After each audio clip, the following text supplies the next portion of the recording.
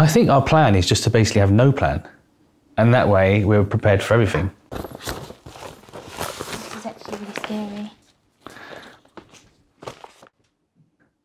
Baby's due in six days' time, and we have got to. Um, what have we got to do now? So I've got um, blankets.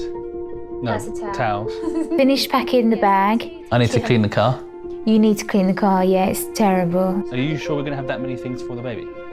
Yeah, it's funny having moments of, oh, I've totally got this, and then a couple of hours later, really scared. It needs to have something small like that.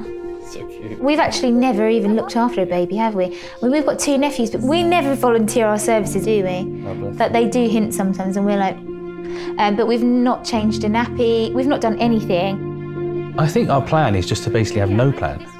And that way we're prepared for everything. The birth is one thing, and obviously that's, I'm not taking anything away No, from yeah. what you have to do, and of course that's amazing. But then it's, then the project begins. I think they're really cute. Just, it's fitting everything in as well because everything's so busy anyway. Yeah, where are we're going to find a time. I know what we need. It's just been us two for such a long time. Yeah. It just feels strange to imagine there being another person. Well, we've got to make room for that in our relationship. Yeah. Well, yeah. Used to the baby fits around us, but that's a bit harsh. No, we need to make sure that we do, but we make, you know, make the effort Yeah.